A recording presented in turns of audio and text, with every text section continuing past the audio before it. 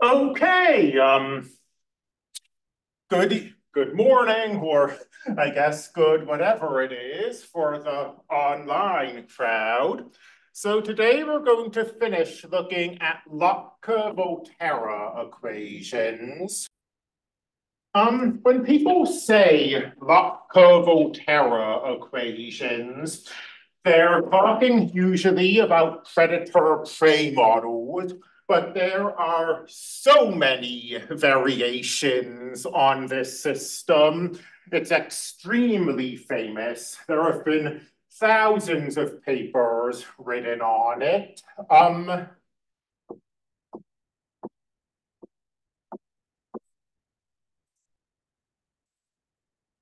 Let's look at a variation of the Lotka-Volterra equations where instead of having a prey species and a predator species, we have two animal species in competition with each other for the same resources.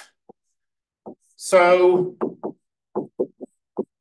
that's sort of a major characteristic of this model. Um, if there were infinitely many resources, it wouldn't make sense to talk about competition. So instead of having two species that behave differently, a predator species and a prey species, we'll have two species that behave identically. They can both be predator species like competing for the same prey animal. They can both be prey species competing for the same plants, whatever. But let's put the equations down and let's talk about them. So this is not going to be the full equation. I'm going to write another term. But let's remind ourselves what this is.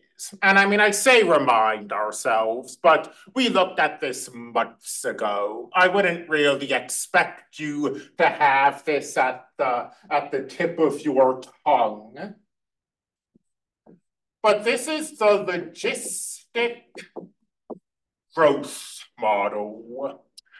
And the reason that we're starting with the logistic growth model is that the logistic growth model encodes our assumption that there are finitely many resources. A population that's growing logistically looks like this. And the reason we have this horizontal asymptote, the reason we have this maximum value is that there are only enough resources to support finitely many animals. So the animal species grows until there aren't enough resources for it to grow further and then it stops growing. So we're going to start by assuming that both species grow logistically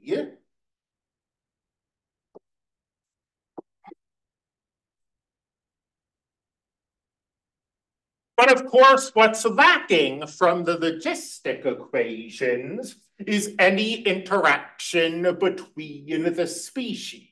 There's no competition. So let's put in a competition term uh, in both these equations.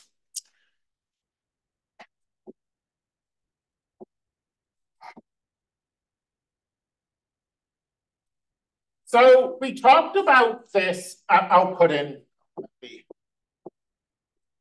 put that there. We talked about this when we talked about the, the um, Lotka-Volterra predator-prey models, when we have our variables being multiplied together, the implication is generally that the system is being drawn between our various variables interacting with each other. So in the predator-prey model, the prey species and the predator species interact. And it's good for the predator and bad for the prey.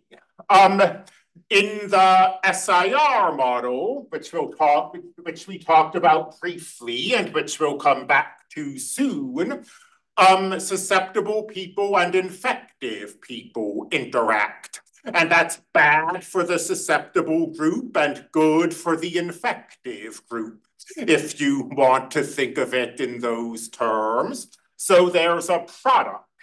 Um, here, competition is driven by interaction.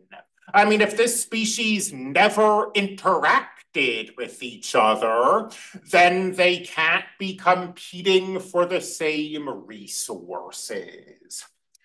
So we see this XY term to represent the fact that competition is driven by this interaction. There's a, there's a prey species that both the predator species want, and they come together and they interact, and one of them gets the prey species and the other doesn't.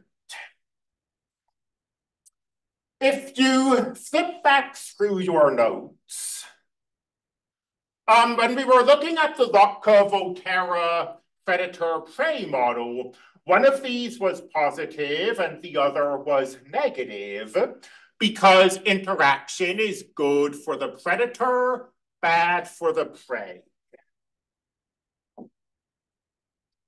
Here, this interaction is bad for both species. Um, because when there's an interaction, it means they're competing for something and they won't both get what they want.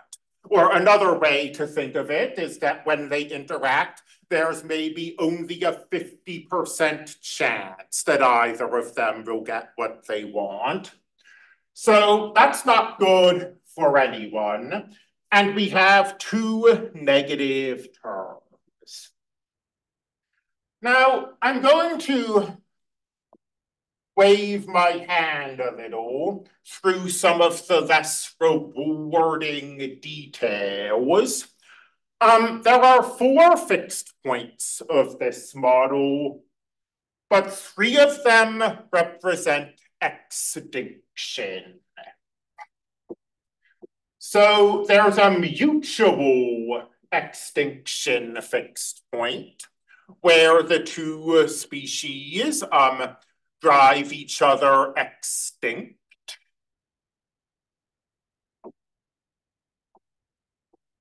And then there's a fixed point where the second species drives the first species extinct. And then there's a fixed point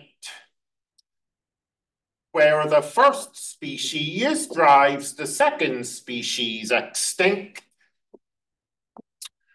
And then there's a mutual survival fixed point.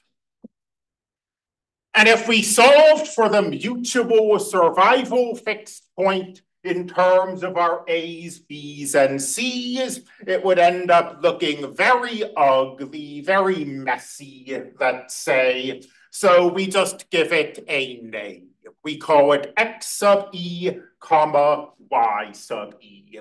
Both species continue to exist here.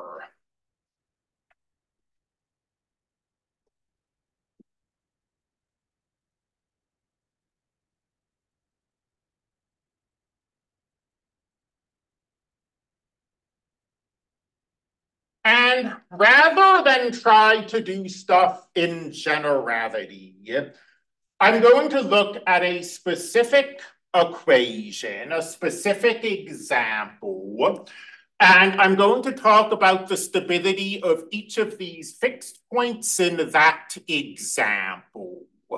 And then I'll make some general remarks.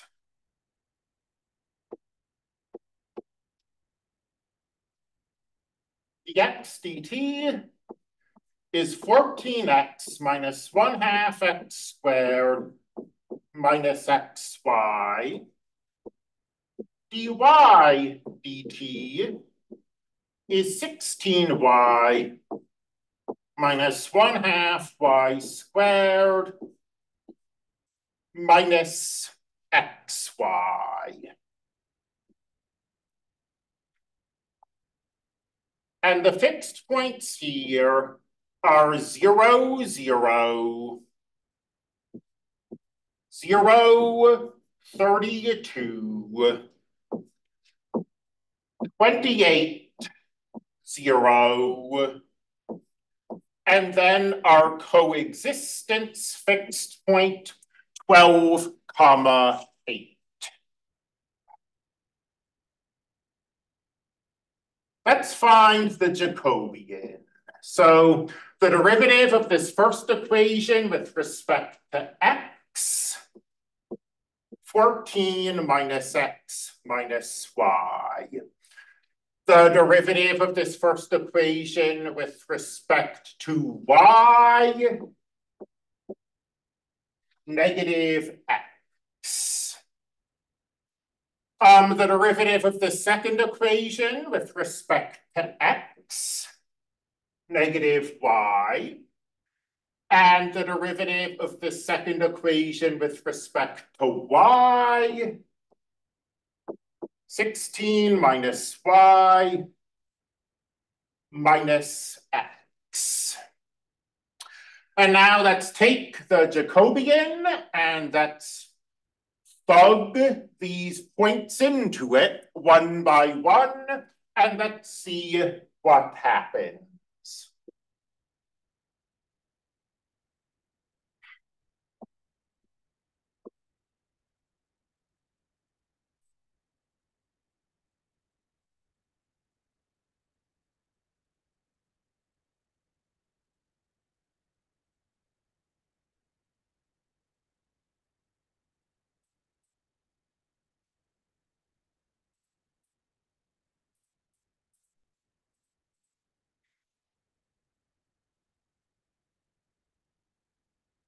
Um, oh, sorry for the radio silence. I, uh, I thought I'd, uh, paused the recording so I could just scroll down the less interesting stuff. But, um, when we plug in zero comma zero, here's our Jacobian and here are our eigenvalues. Um, if you've taken linear algebra, this is a diagonal matrix, so the eigenvalues can be found without any work. If not, you take the determinant as usual.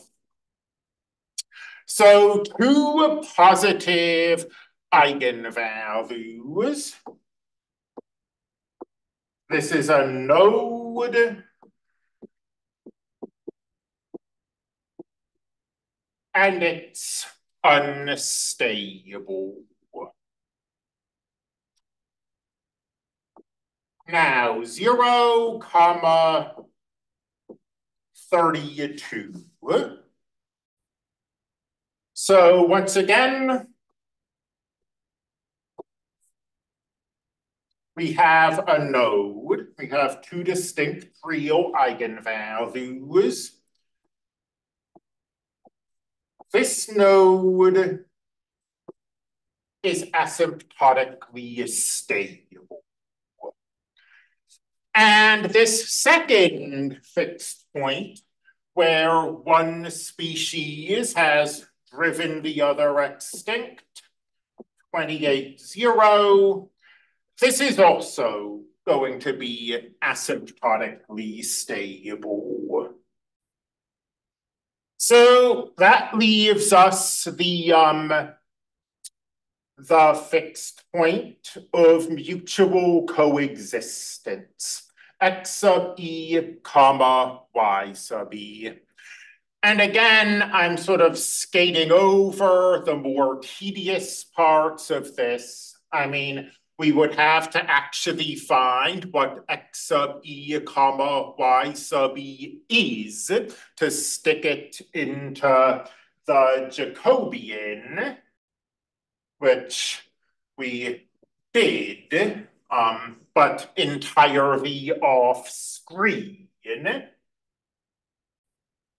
Um, once again, aligning the linear algebra, we wind up with um, a positive eigenvalue and a negative eigenvalue. Um, the square root of 97 is around 10. So this is around negative 10 and um, positive 5. So this is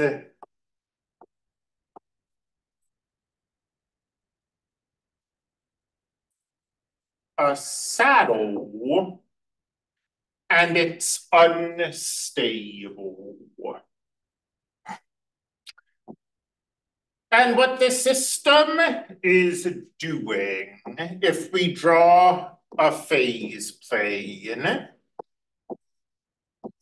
here's a fixed point where one of the species goes extinct. Here's another fixed point where one of the species goes extinct. Here's a mutual extinction. Here's mutual survival. And you really need to use a computer to get a clear idea of what's going on I mean, what we do know is that two of these fixed points are asymptotically stable and two of them are unstable.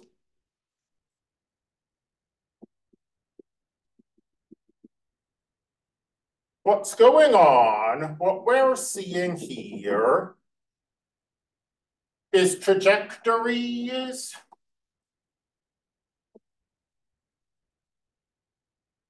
like this.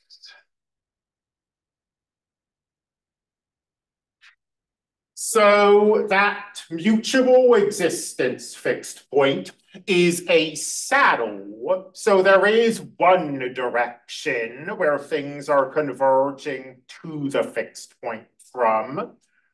But every um every other point on this plane is going to follow these arrows and wind up at one of the single extinction fixed points. So what we're predicting here is that one of the species will drive the other species extinct.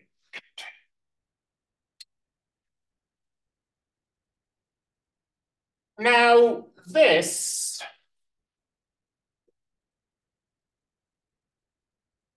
of course, was something we saw in a specific example. But it's true that extinction is always unstable. And it's true that these um, single extinction fixed points are always asymptotically stable. For mutual existence, how can I put this? Unstable but it sort of depends. Let's um let's talk about that. So let's talk about, and I'm going I'm going to want these equations. So I'm let's um we're done with this example. Let's get that frame back. The stability of this fixed point, x sub e, comma, y sub e, depends on the parameters c and b. If c1 times c2 is less than b1 times b2,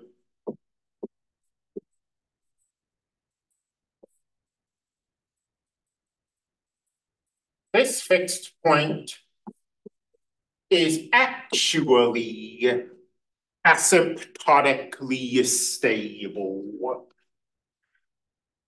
But let's take a look at what this equality C1, C2 less than B1, B2 is actually saying here. So there are finite resources. And because there are finite resources, everything is competing with everyone else.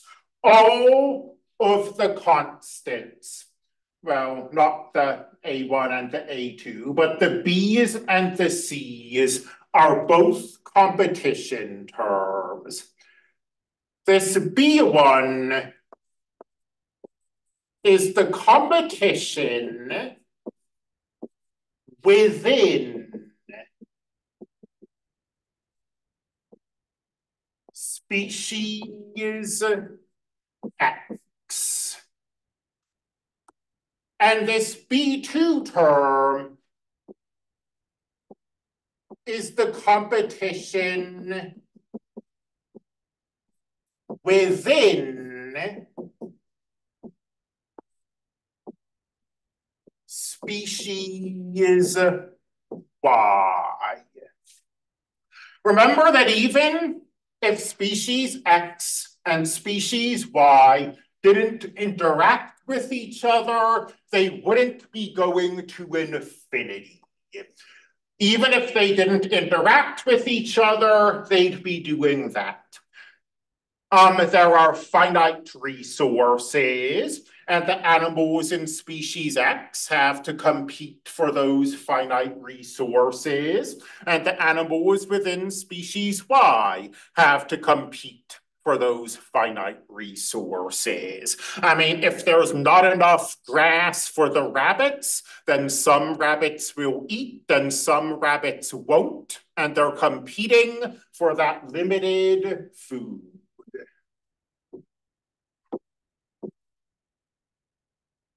On the other hand, this C1 and this C2 represent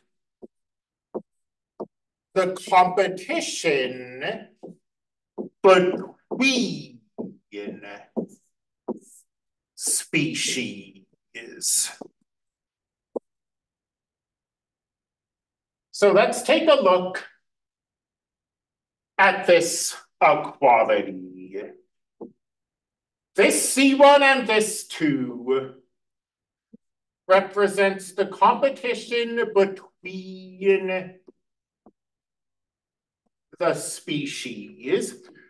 This B1 and this B2 represent competition within the species.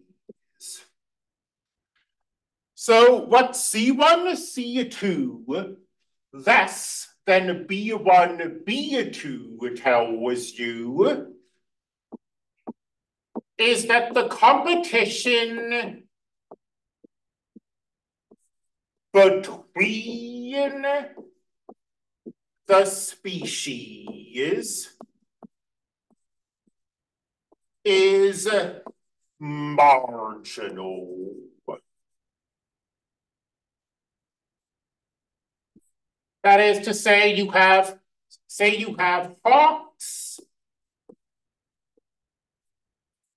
and foxes, both eating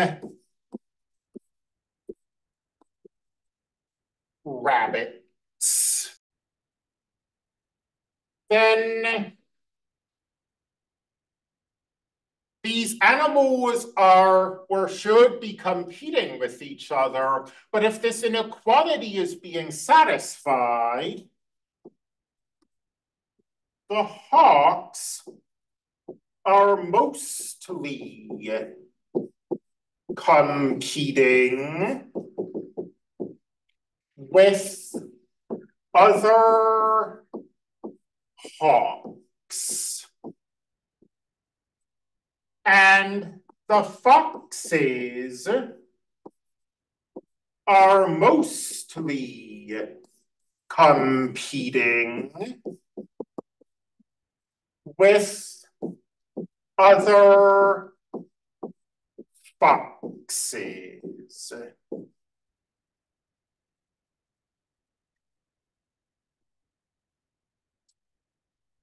Now, if the reverse equality is satisfied, C1, C2 is greater than B1, B2. This means that inter species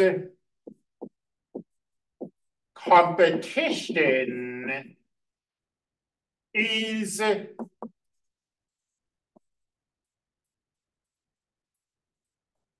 important.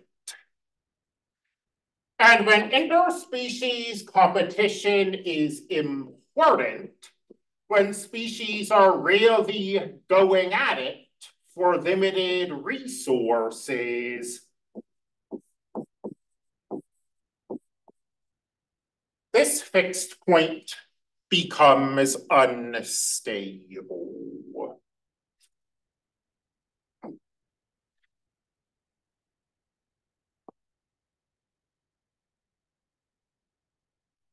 And what we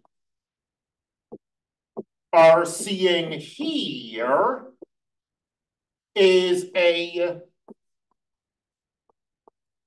mathematical statement of the competitive exclusion principle.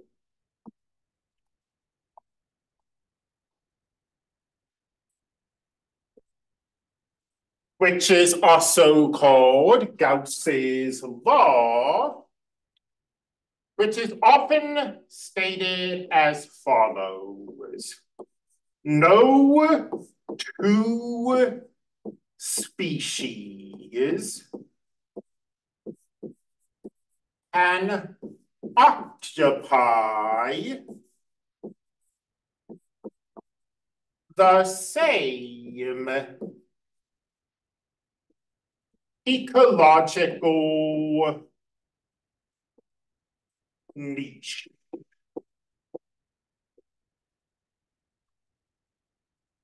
That is to say, if there are two species that are trying to eat exactly the same food, one of them is going to drive the other extinct. Um, so this has been seen in laboratories. It's been demonstrated mathematically. Um, Having said that, we would be remiss if we didn't say that the real world is complicated, and no sooner did you think you've stated some kind of general law than you start seeing exceptions to it.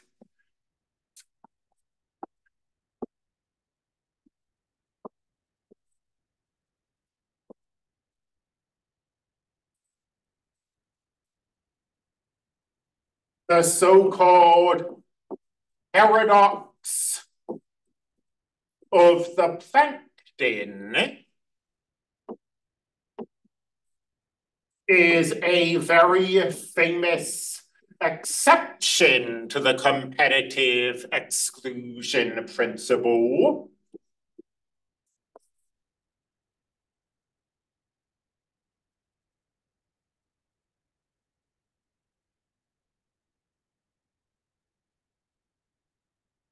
You might not think of plankton as competing with each other, but they all need light and there's only so much surface area to go around. So as odd as it might seem to think of light as a limited resource, um, plankton do compete with each other but the um, the competitive exclusion principle fails. And this is something that people are still studying. Like, you might think that anything that gets taught in an undergraduate differential equations class is going to be pretty well settled. And that's mostly true. But you can find very recent papers, like papers within the last few years, still trying to explain why the competitive exclusion principle occasionally fails. It's an area of active research, to, to say that in the most pompous way possible. And those are the Lotka-Volterra equations. I mean, as I've said, there are basically an infinite number of variations. You'll see some variations on the on the third test. Um, but for now, we will move from this section to other material.